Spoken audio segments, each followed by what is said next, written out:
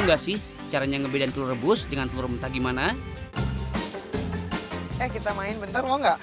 Aku duduk di tengah boleh nggak? Sama adenya. Asik. Anaknya maksudnya. Anaknya ya?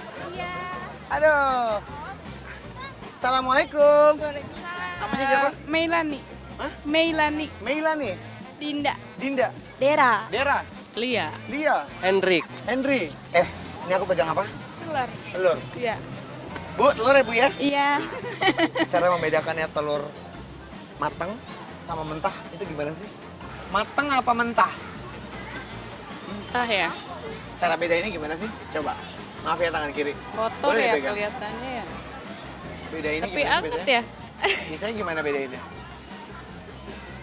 Biasanya sih dipecahin gitu. Jangan, Oh jangan. dulu. Ini, kalau yang mentah gimana ciri-cirinya? Kayak ada apa sih? Bunyi-bunyi gitu Bunyinya kali gimana? ya.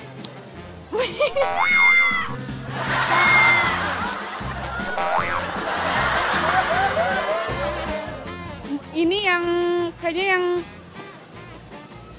yang matang ya ini ya. Itu matang. Iya. Kalau ini, Tapi ini juga sama ayo cara Bingung. bedainnya gimana? caranya.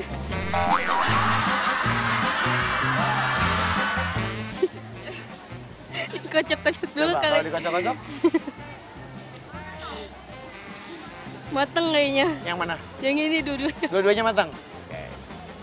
Katanya dikocok-kocok gitu, tapi katanya dua-duanya matang. Coba cara bedainnya gimana? Ini matang, ini ini mentah.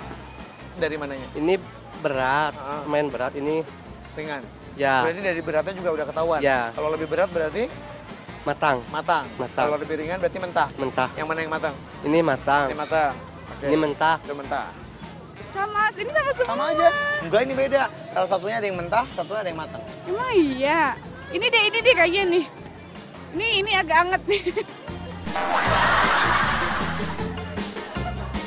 Emang ciri-cirinya kalau dikocok-kocok apa? Ada bunyinya? Hah?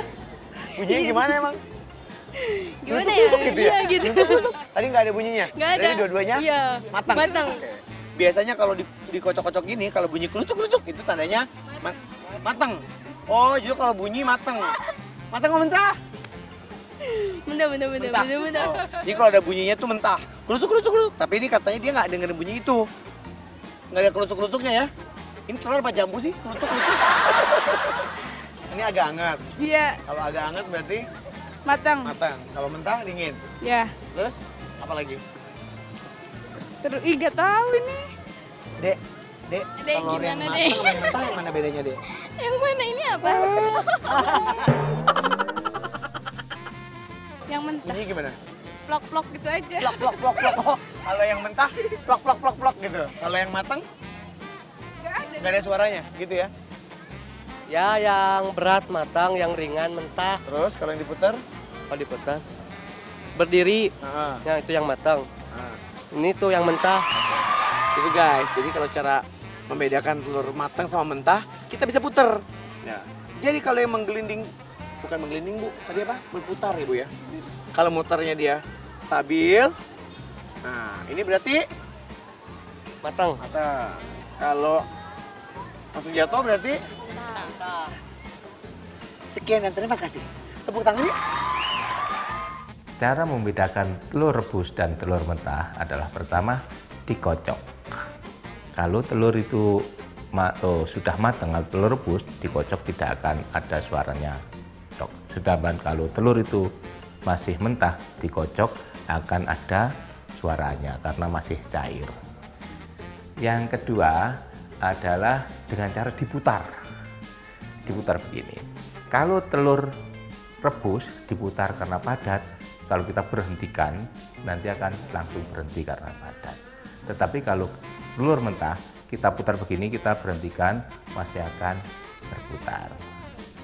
Cara yang ketiga adalah dengan cara disinari. Seperti ini. Kalau telur ini telur mentah, kalau disinari maka akan tembus dan terang karena masih cair. Sedangkan kalau telur ini sudah matang, telur rebus disinari karena padat maka akan gelap, sisinya gelap dan atau buram. Sedangkan cara yang keempat adalah telur rebus maupun telur ini di telur sedang mentah dimasukkan ke air panas. Karena telur rebus sudah padat dan tidak punya pori-pori, ketika dimasukkan air panas tidak akan ada gelembung. Sebaliknya, telur mentah kalau dimasukkan ke, air, ke dalam air panas, maka karena pori-pori masih ada, maka akan ada gelembungnya.